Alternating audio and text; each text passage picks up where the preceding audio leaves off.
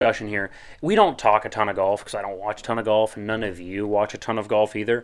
Uh, but there was a story that that caught the entire country's, uh, you know, what word am I looking Attention? for? Thank you. Good God. Anyway, yes, caught everybody's attention. Uh, Scottie Scheffler arrested on his way into Valhalla to play in the tournament. Um, it was on Friday. Uh, it was a it was a rough situation because a bystander trying to like cross the road got hit by a transit bus and killed. So there was a ton of traffic, ton of backup. It was chaos on the scene. And here's one of my problems with PGA, or well, I guess it wasn't even a PGA event, or just with golf in general. There's no organization. It's an absolute shit show.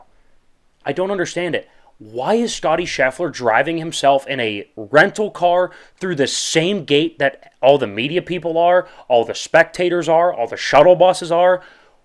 Why is Scottie Scheffler your number one golfer in the world? Why is he not either being shuttled by a, you know a private driver? Order the guy an Uber Black for all I care. Like why is he, why is he driving himself to the to the course? That's problem one. Two, why is there not a separate gate for the players? And three, this cop's a jackass. Why are you arresting Scottie Scheffler? Are we are you outside of your mind? Were you born under a rock and then stayed there until this very moment? Like that well, he might not be a golf fan, is what I hear from a lot of people. Oh, how's he supposed to know? He's not supposed to treat Scottie Scheffler any different. You're working a golf event, dude. You got to know Scottie Scheffler. Like, come on, be for real. Um, it was just one of the most wild things I've ever seen. Yeah. The picture of him in the jumpsuit cracks me up. Oh, it's iconic. The fact that he shot five over. So for those who don't know, he gets arrested at like five in the morning. His tee time's at like nine thirty. He gets released at like eight thirty. Makes his tee time. Shoots five under. I mean, it's not great, but it's good. At least Better not not great for Valhalla.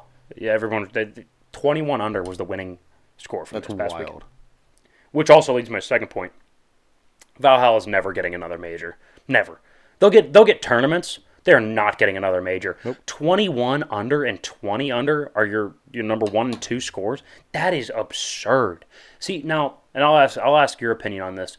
Would you rather watch that type of golf where you're talking in a round on like so they play what? Friday 18 holes, Saturday 18 holes, Sunday 18 holes. That's what? 50 something holes? Yeah. 54 holes? No. 36 plus 18. 54. All right, I'm right. Yeah. Okay. So they played 54 holes of golf. Some majors, some majors it's 72. They played 54 holes of golf. 21 under was your winning score. So you're talking a lot of birdies, right? Even more than 21 because then you count bogeys. We'll say they averaged 25 birdies over the weekend. So between three rounds, that's eight birdies per round, roughly. Would you rather that type of golf where it's just birdies, birdies, birdies, birdies, par, birdie, par, par, bogey, birdie, birdie, like, or would you rather it is a grind for every birdie? The winning score is six under. Everything's a fight. You're out of sand traps. You're from the woods. You gotta, you're you know draws, dog legs. What type of golf would you rather watch? I'd rather watch the second one. I could not agree more.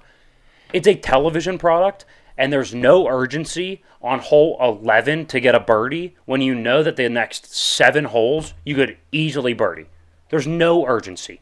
From a viewer standpoint, you're looking for urgency. So whenever it's a whenever six under is the winning score, every birdie feels massive. There was not a single massive birdie at Valhalla yesterday. Not a single ma- uh, single or Sunday important birdie. Not one. It didn't matter because there was so many other holes that you could just birdie or even eagle on uh, to make up for it. So it just didn't feel big. It didn't feel like a major. Valhalla probably won't get another major, and they shouldn't get another major. That was a that was a an absolute unmitigated disaster. I think the bigger problem is the issue that golf has in general. I mean, it's just it's losing viewership. Um, it's Oh, at a at a massive rate. It's no lie that like the main the the I would say the majority of your viewers are 65 and over. Like that's a real problem. Like you're not connecting with the younger age groups. You're not getting in with those younger demographics. You're not bringing anybody to the sport. Uh, hell, NASCAR's been doing a better job at getting fans back into the sport. Like I agree. there are more people coming back in to watch NASCAR than there are people coming back to watch a major golf Event. PGA event.